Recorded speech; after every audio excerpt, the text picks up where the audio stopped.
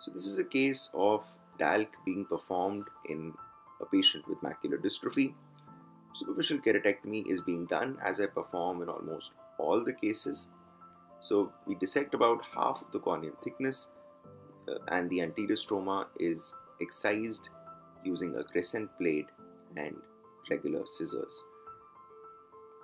This helps us get to a plane where we are able to finally attempt the, the big bubble.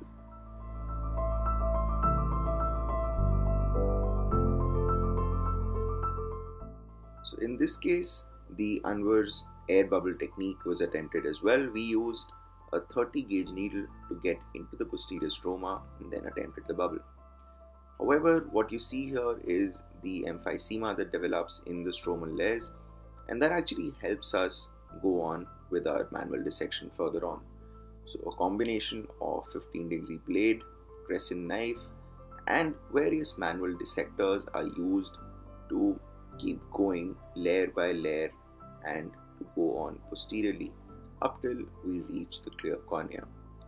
This is the case of macular dystrophy, so there is extensive involvement of the stroma right up till the predescemetic space. So it is extremely important to go quite deep in these cases, particularly. As we go deeper into the posterior stroma, it becomes even more important to be extremely careful with dissection to avoid a perforation from happening, and therefore, it's extremely important to use blunt dissectors and scissors with a blunt tip.